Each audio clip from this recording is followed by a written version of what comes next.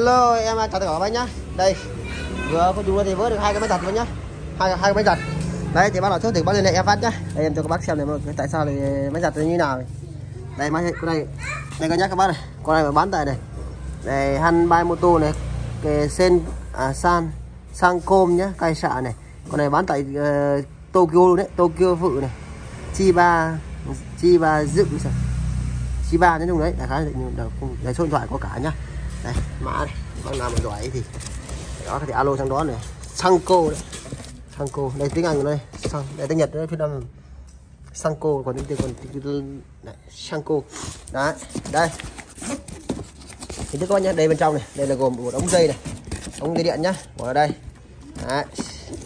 Thì con máy giặt này thì máy giặt mini thôi các bạn đấy, con này nên giặt những cái bộ quần áo mà giống kiểu là các bác giặt những đồ đồ lót đấy hay là đồ đồ đồ đồ mà không muốn dính màu ấy. Người ta quần áo màu như cái đó trắng chẳng hạn nó không sợ tất với lại linh tinh nhá. Đây nắp đậy này. Đấy. nắp đậy này. Được chưa? Đây. Đây. Đây, sách này. Gồm có một cái xô như cái xô sách ấy, rất nhẹ nhàng. Đây. Nặng sách cái này nặng đấy ở đây nó học trong này. Đấy học trong nhá. Thì con này em bán với giá là 800 nghìn thôi nhá. 800k một con này. Ui. Đây, bên trong này này đây. Này về review chi tiết cho các bác được đây. Mới tinh nhá. Cốt này. À, các bác đổ lên đây. 800k hình thức đây. Như kiểu cái xô ấy. Là này đây như này. Nhà nó khớp này. Đây rồi ok khớp với nhá. Đây cho nó bật cho nó quay này. cái này là cái gì đấy 800 nghìn. Đây là điện đầu vào này. có cả có cả chắc âm nhá. Âm này đấy đây. Chưa các bác. À cho các bác cái con này điện chạy đây catalog này ni hông của đây. Ờ, ni hông của của này Monzo tức là đi đi Japan nhá KT rồi là dùng dùng dùng cho gia đình nhá. Dùng cho gia đình.